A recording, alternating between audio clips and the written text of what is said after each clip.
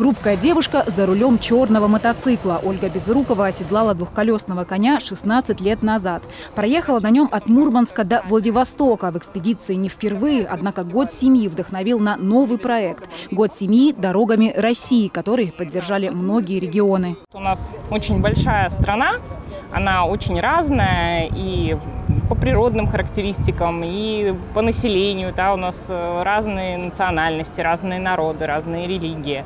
И хотелось э, именно вот этот размах э, показать, насколько мы разнообразны, и что главным объединяющим звеном для всех, наверное, является эта семья и семейные ценности.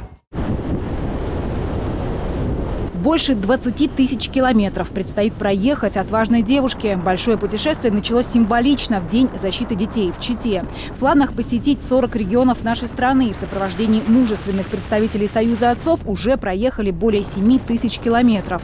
Ольга Безрукова признается, появились места, которые запали в сердце. Всегда с теплом вспоминаю э, посещение церкви Покрова на Нерле.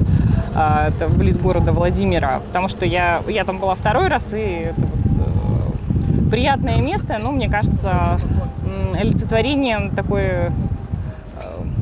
русского духа. Но не только посмотреть достопримечательности, а еще поддержать многодетные семьи, традиционные ценности. Впрочем, организация «Союз отцов» и создавалась с этой целью – провести глубокие смыслы через всю страну. Путь, по словам девушки, несложный. Главное – хорошо подготовить себя и свой транспорт, о котором Ольга может говорить бесконечно. Механическая коробка передач у мотоциклов у всех, поэтому, ну, сейчас какие-то появились, конечно, электрические, но то есть ты, в принципе, ориентируешься даже по звуку, когда тебе необходимо переключиться.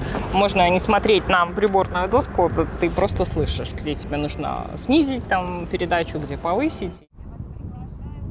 В парке «Патриот» девушка впервые о своих впечатлениях Ольга Безрукова обязательно расскажет в стихах или в журналистских очерках. А пока благородная цель и любопытство заставляют ее снова и снова заводить мотор и отправляться в путь.